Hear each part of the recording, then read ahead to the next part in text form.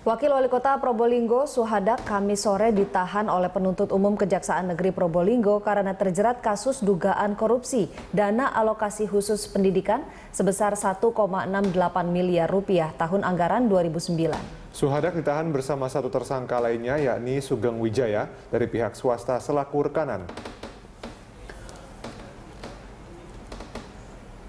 Penahanan dilakukan setelah penyidik Kejaksaan Agung yang menangani kasus dugaan korupsi dan alokasi khusus pendidikan tahun anggaran 2009 melakukan pelimpahan tahap kedua di Kejaksaan Tinggi Jawa Timur kepada Kejaksaan Negeri Probolinggo.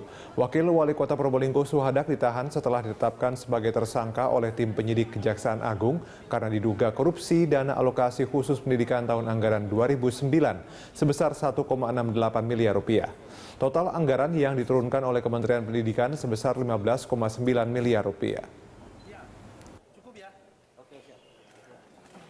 Ini wakil wali kota ini yang sekarang ini. Tidak dipertimbangkan sama sekali kok. Undang operatif saya datang bilang bentuk eh, eh, kebesaran hati saya. Ah, ya, Pak. Ya, tadi saya siap akan kami lakukan.